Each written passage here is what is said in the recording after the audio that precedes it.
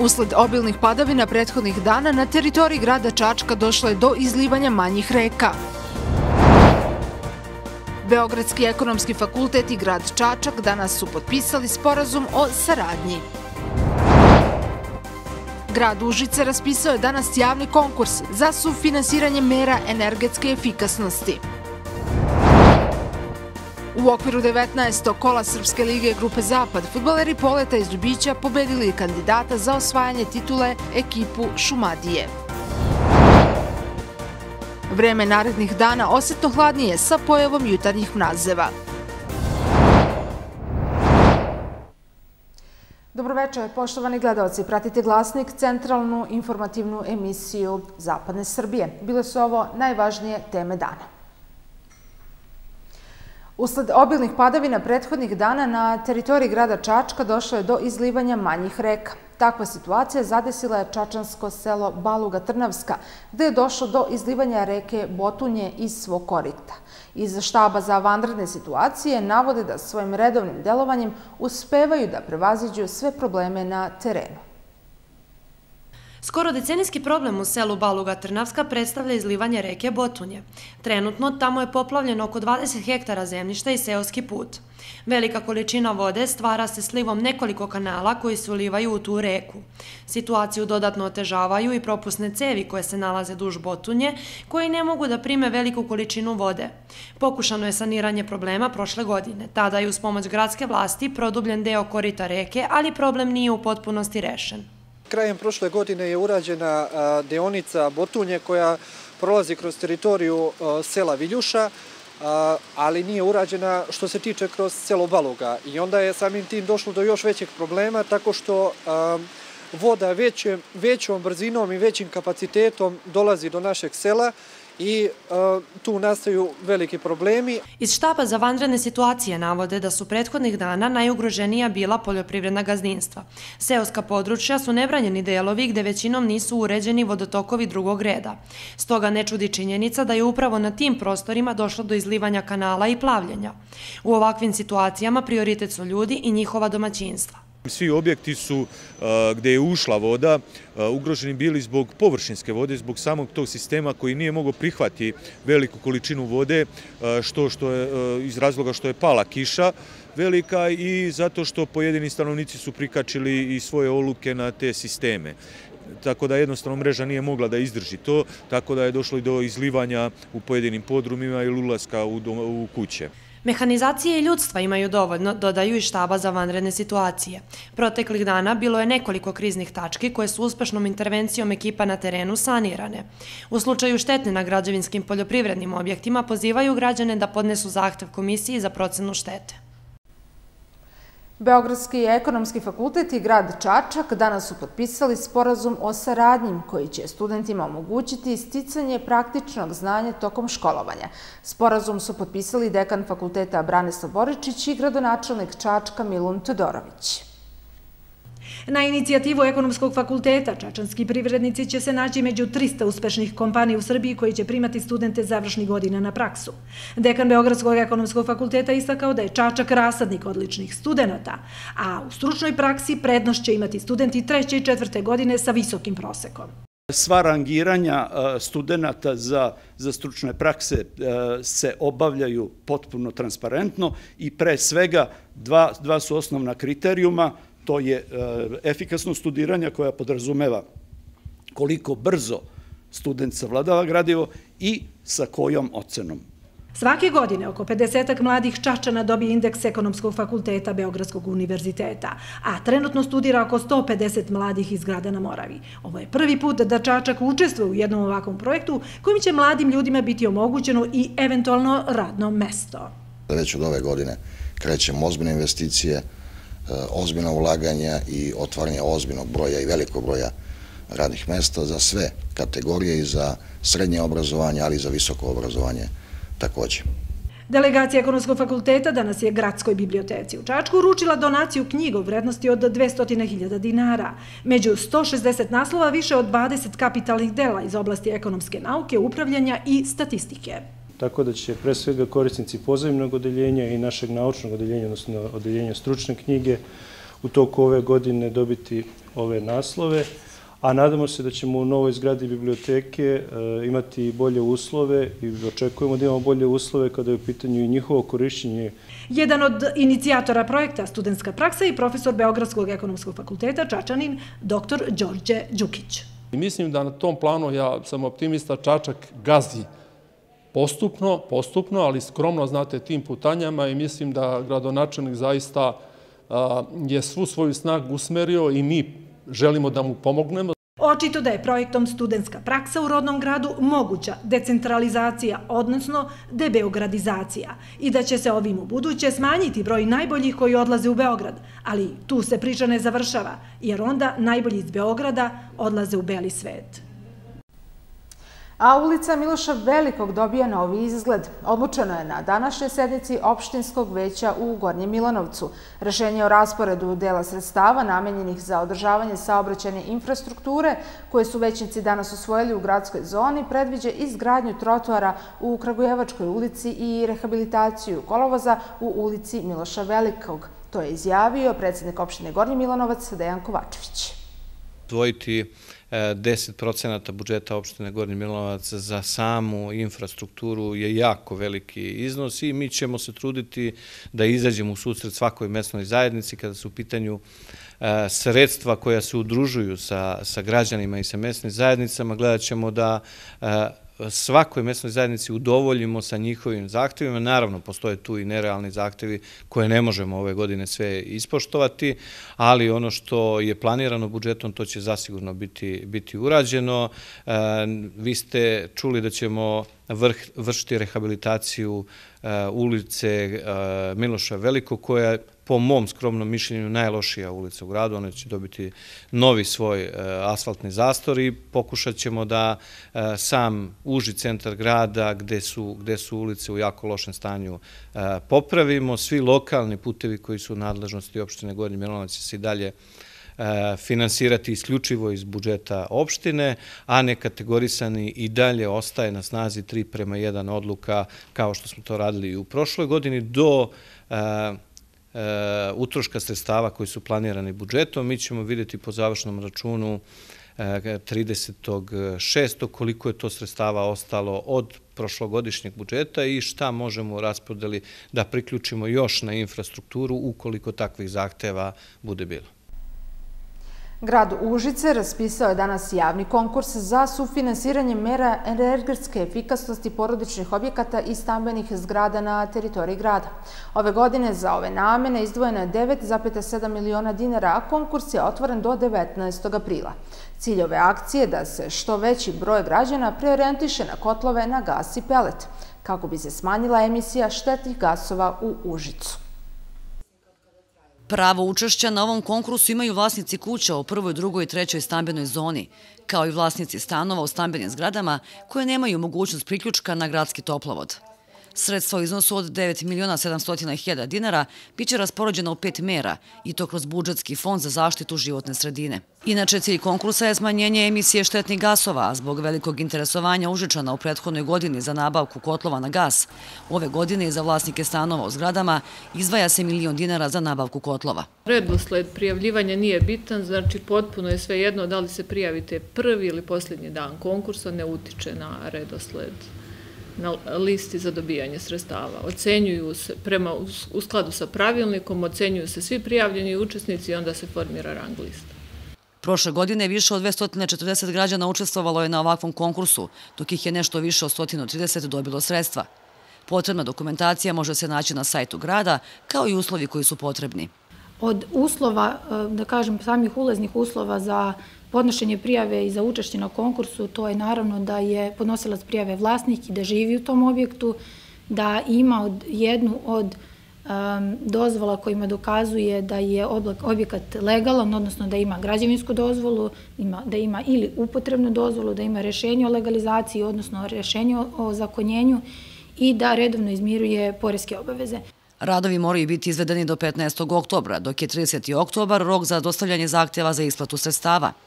Inače, ovo je četvrta godina kako grad Užice subvencioniše građane po pitanju energetske efikasnosti, zašto je do sada izdvojeno više od 33 miliona dinara.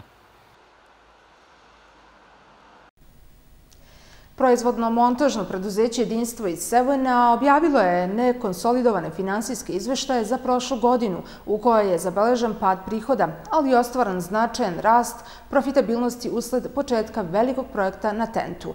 Jedinstvo je u prošloj godini zabeležilo nekonsolidovane prihode od 3,6 milijardi dinara, što je 23,2 odsto niže u odnosu na godinu pre, dok je poslovna dobit pala 60,5 odsto na 81,5 1,2 miliona dinara.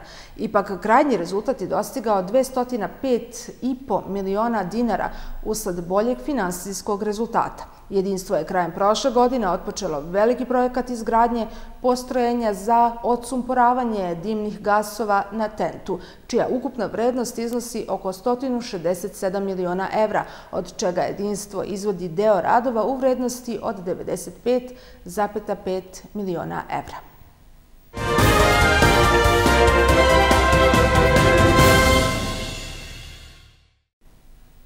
Glasnik nastavljamo sa vestima iz kulture. U Narodnoj biblioteci u Užicu sutra će biti predstavljena knjiga Nezavisna država Hrvatska u Srbiji 1941. Autora Milutina Živkovića. O knjizi govore Petar Ristanović sa Instituta za srpsku kulturu, Milan Gulić, saradnik Instituta za savremenu istoriju i Milenko Vujić književno veče počinje u 19 časova. A nakon sedmodnevnog rada i druženja u Zlatiborskim konacima, na Zlatiboru je u okviru likovnog simpozijuma Vukadinović postavljena izložba slika nastalih tokom ovog perioda. 21 slikar iz pet zemalja stvarao je u ovom sazivu, čiji je idejni tvorac i organizator Đorđe Vukadinović. Đorđe Vukadinoviću, koji je veliki zaljubljenik u slikarstvo, odlučnost i entuzijazam nisu prepreka, a dobre prijateljske veze važna su potpora koju ima, pre svega sa slikarima svetskog glasa, a potom i sa domaćinima u čijim mestima organizuje svoj likovni simpozijum. Kako možete da odustanete? To je Svetlana Demkina, žena koja je napravila koja je napravila e, u Kubanu, napravila je svoju akademiju. To nisu ljudi, e, sad odustati bilo bi stvarno iluzorno. Ne znam šta sam onda radio. Znam da nije, e, da nije lako, ali borimo se. Zaslužnoj umetnici Ruske federacije Svetlani Demkin potrebno je veliki prostor i radi kao monumentalni umetnik. Zbog toga se posebno zahvalila domaćinima koji su joj omogućili poseban prostor za umetničko delanje, kao i na pozivu koji je učinio da upozna ovaj delić Srbije. Ja Srbiju preježala dvažde, jezdila u Črnogoriju. Kroz Srbiju sam prolazila dva puta, kada sam išla u Crnu Goru i Hrvatsku. Kod vas se osjećam kao kod kuće. Mogu da kažem da je priroda tako čudesna, prosto bajkovita i ja sam oduševljena svim lepotama lepotama koje sam do sada videla. Mišo Vemić je akademski slikar iz Crne Gore i sam je organizator likovnih druženja kao što je internacionalno likovno bijenale u Nikšiću. Na ovom simpozijumu je drugi put. Iz Srbije je ovde i Danica Basta koja je impresionirana kako sazivom umetnika, tako i prostorom u kojem su radili i boravili. Sve zajedno u ovoj konstelaciji sa divnim ljudima, slikarima iz Rusije, što mi je novo iskustvo, čini me na neki način bogatijom za neko novo znanje. Tematika nastalih dela je različita, pa se mogu videti portreti, figuracije, pejzaži. Slike će u naredne dve godine biti izložene u državama umetnika koji su učestvovali na simpozijumu, a već sljedećeg marta likovni simpozijum Vukodinović će u nešto drugačijem sazivu stvarati nova dela na Zlatiboru. Pratite glasnik, ostanite i dalje uz nas, slede vesti iz sporta.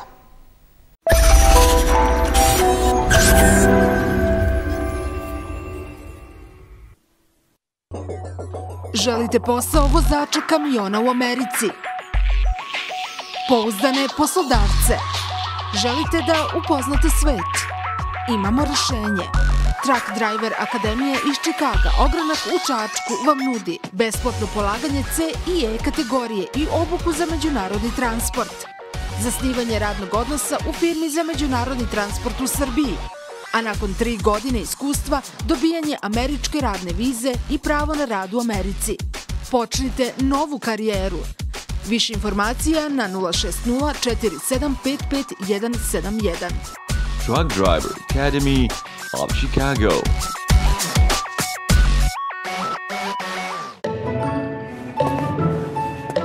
Nismo mi majke mi. Stižem sve do pet. Života mi.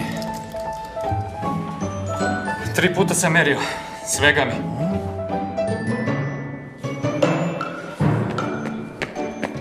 Izvini, strašna je gužva.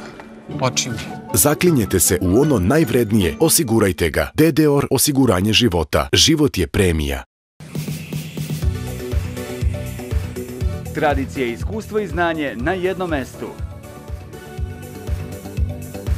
U našoj školi možete steći neophodno znanje koje vam prenose licencirani predavači, instruktori i ispitivači.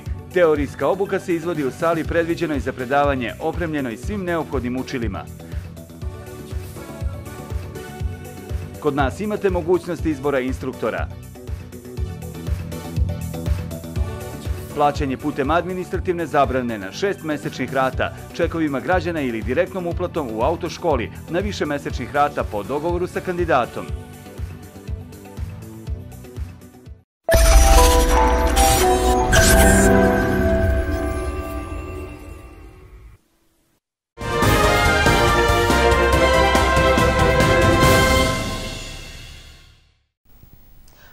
Limasolu na Kipru završeno je prvenstvo Balkana u maratonu. Članica atletskog kluba mladosti iz Ugužica, Olivera Jeftić, triumfovala je u ženskoj trci i osvojila titulu prvakinje Balkana u maratonu. Na maratonu u Limasolu učestvovala je preko 25.000 takmičara iz više od 50 zemalja.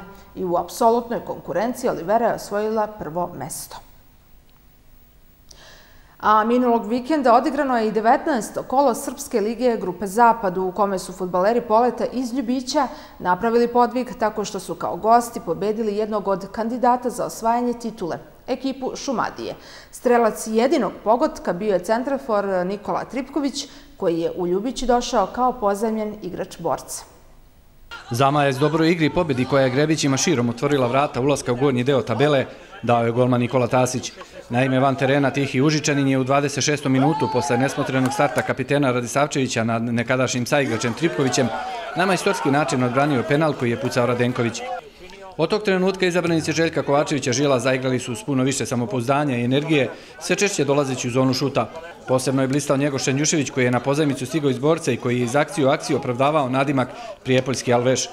Kao sablja britki desni bek špartao je desnom ivicom terena, osvajao i iznosio loptu polje protivnika, da bi u 35. minutu uputio centašut koji je Nikola Tripković u velemajstorskom stilu pretvorio pogodak.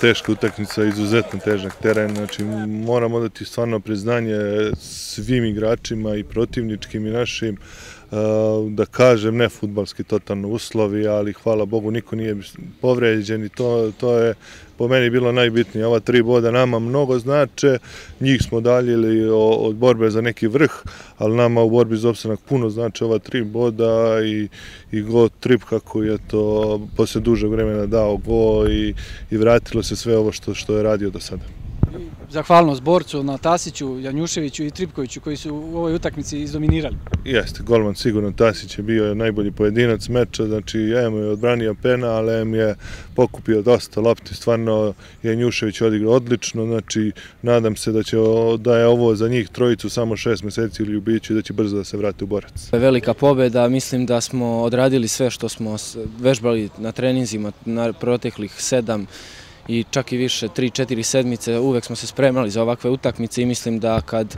radimo onako kao što se dogovaramo na trenizima da možemo pariramo svakoj ekipi u ligi. Kako je bilo igrati po ovakvom terenu? Pa jedna strana terena je bila u redu, dok druga strana je stvarno bila katastrofa, ali, ali istrajali smo kako je bilo nama, tako i njima. Ne, nismo smeli da tražimo alibi u tome i na kraju se to isplatilo. Uzeli smo veoma vredno tri boda u borbi za opstanak. Koliko ti znači ovaj gol? Gol znači puno, pitali ste me juče kada će doći, evo došao je danas i veoma sam srećan zbog toga, ali pre svega sam srećan što smo uzeli tri boda ovako dobre ekipi kao, Ara, kao Aranđelovaca, gol je nagrada za, za rad i mnogo sam srećan zbog toga. U narednom 20. kolu Srpske lige Zapad, posle dva uzastopna gostovanja, futbaleri Poleta će narednog vikenda biti domaćini ekipi Karadžorđa. Meč se igra u nedelju i počinje u 11 časova.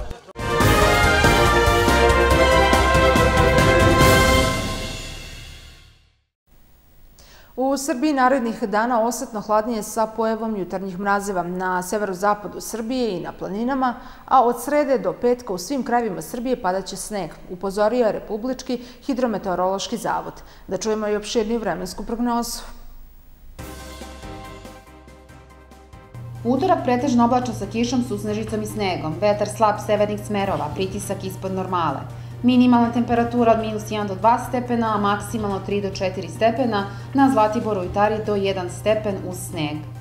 U sredu, četvrtak i petak vrlo hladno za ova doba godine i oblačno sa povremenom susnežicom i snegom uz formiranje snežnog pokrivača i u nižim predelima. Od ovog vikenda sledi postepenim poraz temperature. I još jednom da se podsjetimo najvažnijih vesti dana koje su obeležile dakle, ovaj prvi radni dan ove nedelje. Usled obilnih padavina prethodnih dana na teritoriji grada Čačka došlo je do izlivanja manjih reka. Beogradski ekonomski fakultet i grad Čačak danas su potpisali sporazum o saradnji. Grad Užice raspisao je danas javni konkurs za sufinansiranje mera energetske efikasnosti. U okviru 19. kola Srpske lige Grupe Zapad, futbaleri Poleta iz Ljubića pobedili kandidata za osvajanje titule ekipu Šumadije. Vreme narednih dana osjetno hladnije sa pojavom jutarnjih mrazeva. Podsjećamo da je na programu televizije Lavu 20 časova i 30 minuta dakle sportski pregled koji priprema kolega Milorad Plazinić, a u 21 čas je emisija iz Privrede Resurs, koleginice koja je autorka Vesna Radović-Nedeljković. Pratili ste glasnik centralnu informativnu emisiju. Želimo vam prijetno večer.